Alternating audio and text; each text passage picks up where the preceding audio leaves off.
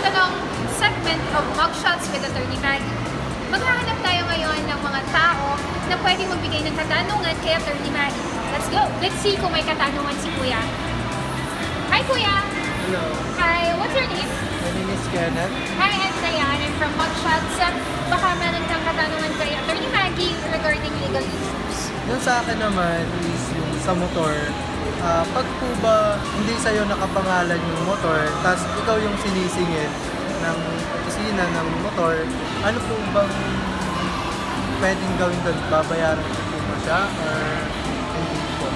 So, depende po siguro yun sa akin kung babayaran ko. Pero sa akin po talaga, bakit kailangan ako yung singilin, so dapat yung ah, nakapangalan sa motor. Kaso lang, sa akin po, ako po yung gumagamit.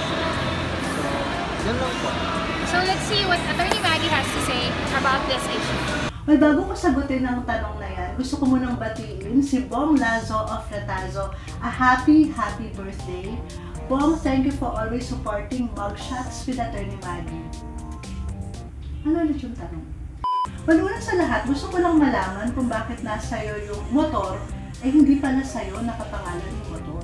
Ay, Attorney, sa ex daw. Ah, eh kasi wala naman doon sa fax ng case. Nasusunod kasi kumpletuhin mo na yung fax ha. Ah, so it would appear na yung girlfriend mo ay nag-loan ng motor at ah, nagbabayad siya ng monthly amortization. Yung nga lang, ikaw yung gumagamit ng motor.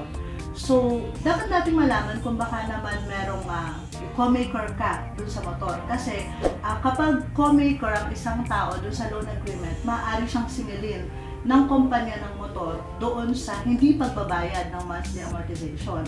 Pero kung sir, hindi ka naman co-maker doon sa loan ng iyong girlfriend doon sa motor, tama ka na ang dapat lang singilin ng ah, kumpanya ng motor ay yung girlfriend mo. Kasi siya ang debtor doon sa loan agreement. Ayan, I hope na nasagot ni Attorney Maggie yung lahat ng katanungan mo. And uh, dahil dyan, sa pagtatanong mo, we